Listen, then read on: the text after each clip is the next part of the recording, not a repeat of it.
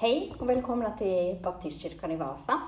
Här sitter jag, Lotta Blomberg, tillsammans med Camilla Klockars från Metsko. Välkommen! Tack! Vi ska samtala en stund här tillsammans och jag tänkte börja med att fråga dig Camilla. Vi lever ju i väldigt oroliga tider nu och extraordinära tider. Hur tycker du att man som, som kristen och församling, vad är det man ska prioritera i de här tiderna? Vad är det som är det viktigaste man kan tänka på nu? Jag tänker ju nog att det här är på något sätt en, alltså det är en tid som Gud är fullständigt medveten om och en tid som Gud har planer för. Mm. Och eh, jag tycker att det skulle vara väldigt viktigt, åtminstone för mig själv, och jag tänker att det kanske gäller hela kristenheten, att vi på något sätt skulle få tag i det som är Guds tidtabell, eller Guds tanke med den här tiden. Att vi skulle förstå vad han, vad han avser, att vi skulle förstå eh, vad som ligger på hans hjärta, så att vi inte bara väntar på att allt ska gå tillbaka till det normala, så att vi får fortsätta som om ingenting skulle ha hänt. Jag tror att det skulle vara det största misstaget vi kan göra, verkligen. Mm. Hur kan vi göra då för att få tag på det centrala, på Guds tanke för den här tiden? Um, jag tror att det är viktigt att vi söker oss nära Guds hjärta. Att vi, Mm. att vi söker oss nära honom och framförallt lyssnar och försöker genom hans ord liksom hitta det som är hans tankar för den här tiden som vi lever i. Att vi lyssnar inåt och försöker han säga eh, och att vi, ja, helt enkelt att vi zoomar in hans hjärta. Att vi inte, att vi inte utgår från att det ska vara så som det alltid har varit utan och framförallt att det inte ska vara, att, att, att det inte blir så att vi tänker att vi vill tillbaka så snabbt som möjligt till det som var. Utan jag tror att vi kommer inte att gå tillbaka till det, Mm. till det som var. Vi kommer tillbaka till någonting som inte ser ut som förr och vi måste Mm. också vara redo för det. Ja, det tror jag stämmer. Det tror jag stämmer också när det gäller hela samhället i stort. Mhm. Man pratar ju om någonting som det nya normala. Mm, mm, Det finns ett före corona och så finns det Absolut. ett Mm, nya normala. mm. Och det gäller också kristenheten, det Mm. gäller församlingen, det gäller oss som Mm. enskilda kristna. Och där, där ursäkta nu avbryter jag dig nästan, men där, jag tror att den stora problematiken är att som församlingar är vi ganska bra på att hålla fast vid det som har varit. Och vi har en förkärlek till det som har varit och vi kan liksom det där som alltid har varit. Och det är inte så lätt att ta emot en ny tid och börja tänka nytt. Mm. Eh, verkligen inte.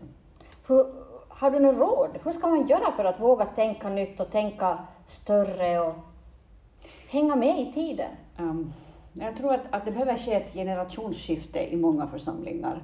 Och jag Mm. menar inget illa med det, men, men jag, tror, jag märker själv med stigande ålder, jag är 53 nu, snart 54, och om jag liksom jämför mig själv med mina barn där hemma, en 15-åring och en 13-åring, Mm. så får jag ju höra varje dag att jag är passé, att det, att det är liksom för sent, en massa saker är för sent Ja. i mitt liv och jag förstår ju att mycket av det är ju förstås sån här tonåringars snack.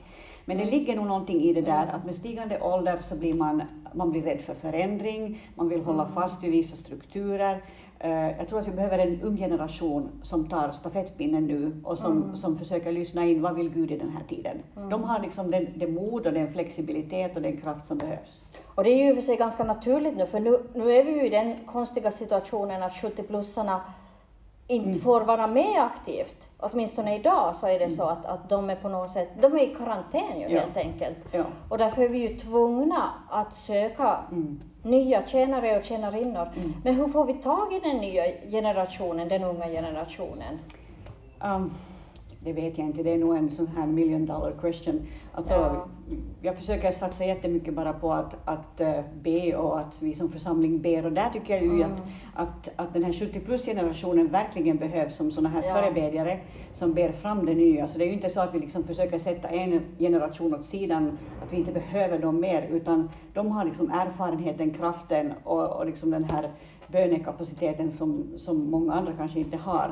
Eh, Men jag tror att det, det är någonting vi ber fram och Mm. att Gud på ett suveränt sätt kan leda dem till oss. Ja, jag håller fullständigt med dig i det att, att jag känner ju många otroliga bönemänniskor Mm. som är just i 70-80 års åldern som är van med att verkligen be igenom som man pratade om förr. Mhm. Att de har en otrolig uthållighet i bön och som vi verkligen behöver i den här tiden. Mhm, Så är det. Så är det. Men ännu när det gäller församling, vad, i sådana här tider när vi inte kan träffas fysiskt i kyrkan, vi kan inte säga att det här är vår församling. vad är församling egentligen? Vad är det som definierar en församling? Mm. Jag tycker ju att här, den här tiden är bra på det sättet att, att den tar fram församlingen så som den verkligen är. För, mm. för byggnaden är inte församlingen och programmet som vi gör är inte församlingen, utan församlingen är folket. Mm. Och jag tycker att det är på ett sätt en sån pröv, prövotid, att vi ser att har vi verkligen människor som är rotade i tron? Har vi människor mm. som är stabila i tron? Finns det någonting kvar när vi inte liksom har programmet som upprätthåller oss? Mm. Eh, så det ska bli spännande att se vad som är kvar när vi kommer igenom den här tiden. Ja. Eh, jag tycker att det, det, det, är väldigt hälsosamt. Jag hoppas att det här inte tar slut, slut för snabbt. Det är en ja. jätteviktig tid. Ja, det står ju också i i, i Nya Testamentet om, om kristna som behöver mjölkmat. Mm -hmm, mm -hmm. På något sätt tänker jag det att, att vi har blivit matade mm. år ut och år in, söndag efter mm. söndag. Mm. Att nu är, nu är det liksom läge att visa att vi klarar oss själva. Absolut. Att vi har tagit tillvara den undervisning vi har fått och liksom att vi är rotade i den. Verkligen, verkligen. Ja. Mm, absolut.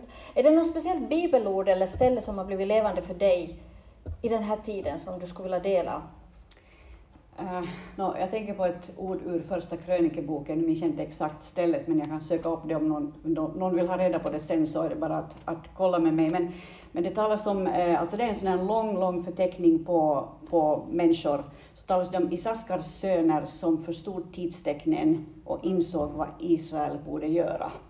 Okay. Alltså de, såg, de insåg vad det, vad det var för en tid de levde i och de insåg mm. vad som behövde göras. Och, och jag le, försöker leva med den texten varje dag, att, att jag vill inte bara liksom gå på som om ingenting skulle ha hänt eller önska mig mm. tillbaka till det som var, utan att jag skulle förstå det som nu sker och förstå vad vi behöver göra nu. Mm. Fantastiskt. Mm. Tack ska du ha Camilla för att du kom och delade dina tankar med oss.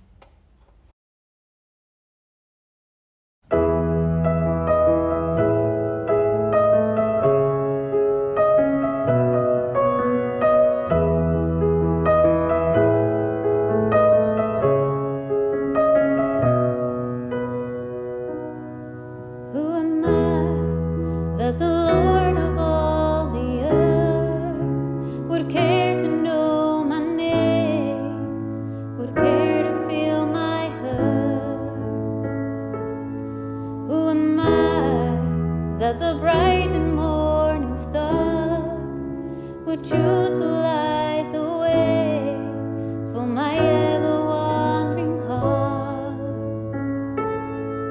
Not because of who I am, but because of what you've done. Not because